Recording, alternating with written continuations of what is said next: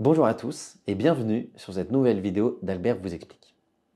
Je suis Albert, directeur général adjoint de Nalo. Qu'est-ce que Nalo pour ceux qui ne le savent pas encore? Nalo est une plateforme digitale qui vous permet d'investir pour réaliser vos projets de vie. Avant de poursuivre, je me permets ce petit disclaimer. Investir comporte des risques de perte en capital. Par conséquent, il faut bien vous constituer une épargne de disponibilité avant d'effectuer tous ces investissements. Venons-en au sujet du jour. Commencez à investir avant 30 ans. Un chiffre, le patrimoine médian des Français de 30 ans est de 15 800 euros. Pourquoi commencer à investir tôt? C'est une question qui euh, revient souvent. Premièrement, s'habituer à un effort d'épargne. Alors c'est quoi un effort d'épargne? Tout d'abord, lorsque vous commencez à percevoir vos premiers salaires, vos premiers revenus, habituez-vous à mettre une somme de côté. L'effort d'épargne, il peut être mensuel, il peut être annuel, je sais pas, par exemple vos primes annuelles, vos commissions, etc. Eh ben, essayez de vous habituer à les mettre de côté et à les investir. Ensuite, dans cet investissement, il y a ce qu'on appelle les intérêts composés.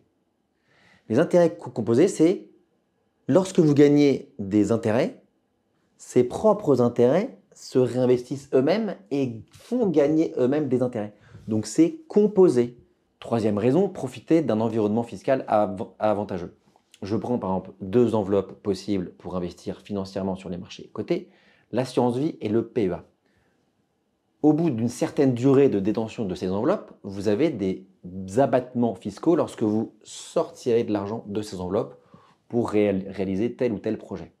Je vais prendre ensuite l'exemple de l'immobilier. Plus vous détenez votre bien immobilier depuis longtemps, plus vous aurez un abattement fiscal avantageux si vous souhaitez le céder.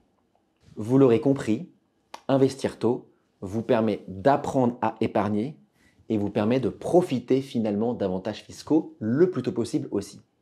Je voudrais revenir aussi sur un dernier point qui est important, qui est l'apprentissage. Vous savez, c'est un petit peu comme tout dans la vie. Plus vous commencez tôt, plus vous pouvez par conséquent vous permettre de faire certaines erreurs et aucun investisseur derrière cet écran ne pourra me dire que tous les investissements qu'il a faits ont toujours excellé, ont toujours été bons, ont toujours été une bonne idée. Eh bien, par conséquent, commencer le plus tôt possible permet d'apprendre aussi le plus tôt possible et de profiter de cet apprentissage le plus longtemps possible. Voilà, je pense avoir fait le tour des conseils à donner euh, pour savoir comment commencer investir avant 30 ans. J'espère que j'aurai pu vous apporter tout ce qu'il faut. Donc foncez, investissez, n'ayez pas peur, comme, comme on dit, et à bientôt.